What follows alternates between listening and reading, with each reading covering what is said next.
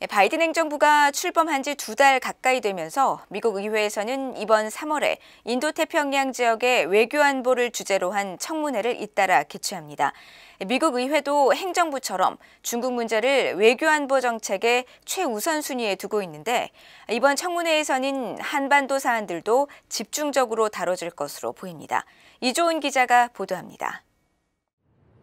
미국 상원 군사위원회는 오는 9일 인도태평양 사령부를 주제로 청문회를 개최해 필립 데이비슨 인도태평양 사령관으로부터 직접 영내 안보 태세 현황을 보고받을 예정입니다. 조 바이든 행정부 출범 초기 인준 청문회 개최에 분주한 상원 군사위가 안보 태세를 점검할 첫 번째 지역으로 중국이 있는 인도태평양 지역을 채택한 겁니다. 하원 군사위원회도 오는 11일 인도태평양 지역 국가안보과제와 미군의 활동을 주제로 청문회를 개최합니다. 이날 청문회에는 데이비슨 인도태평양 사령관과 함께 로버트 에이브럼스 주한미군 사령관과 데이비드 헬비 국방부 인도태평양 담당 차관보 대행이 증인으로 출석합니다. 군사위는 청문회 개최 목적에 대해 미 인도태평양 사령부의 작전과 관련 정책 분야의 국가안보 과제, 그리고 미군 태세에 대해 국방부 당국자들에게 직접 증언을 받을 것이라고 밝혔습니다. 이번 청문회는 신종 코로나 바이러스에 대한 국방부의 대응 현황에 이어 새 회기 하원 군사위가 개최하는 두 번째 청문회로 역시 중국의 부상을 견제하는 데 우선순위를 두고 있는 의회의 기류를 반영하고 있습니다. It is clearly the single most significant foreign policy challenge to the United States. We must not only confront China, but we must compete with it.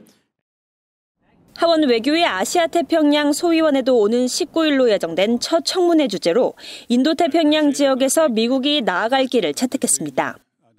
아미베라 하원 외교위 아테소 위원장은 4일 VOA에 이번 청문회 개최와 관련해 인도태평양은 미국의 외교 정책에 있어 가장 중요한 지역이라며 미국 경제와 국가 안보는 이 지역과 본질적으로 연결돼 있기 때문이라고 밝혔습니다.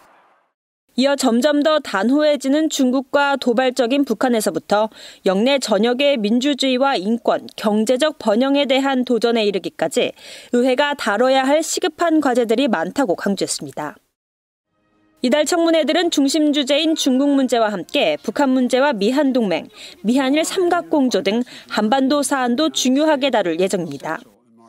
의원들은 최근 영내 주요 현안으로 북한 외에도 미한 연합훈련과 한일 관계 등을 거론해왔습니다.